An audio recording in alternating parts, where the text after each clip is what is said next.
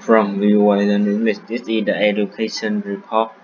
Kenya recently alleged residents have promised free laptop computer to every first-year student in the country school, but some people question whether President Uhuru Kenyatta plan can succeed. The government is to begin the, begin giving out the computer uh, next year. Mutaga Primary Schools in like many other schools in Kenya and other countries, teaching students with chalkboard, textbook, and memorization. His teacher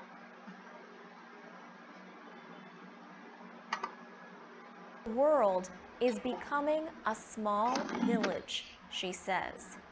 Students need to connect with the rest of the world and become computer literate.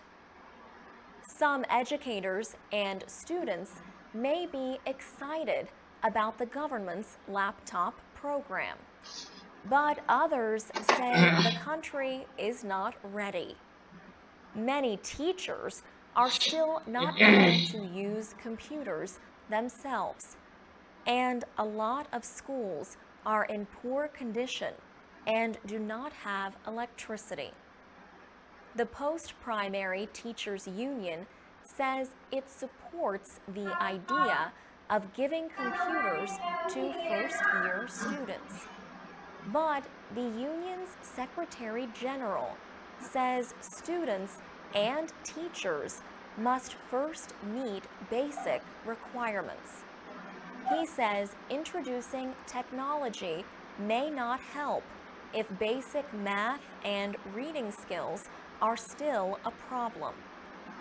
The laptop program was a major campaign promise of Mr. Kenyatta. He won election in March by a narrow vote. But his new government is still working on how to pay for the program. Providing laptop computers for all first-year school children in Kenya is expected to cost hundreds of millions of dollars. For VOA Learning English, I'm Alex Villarreal.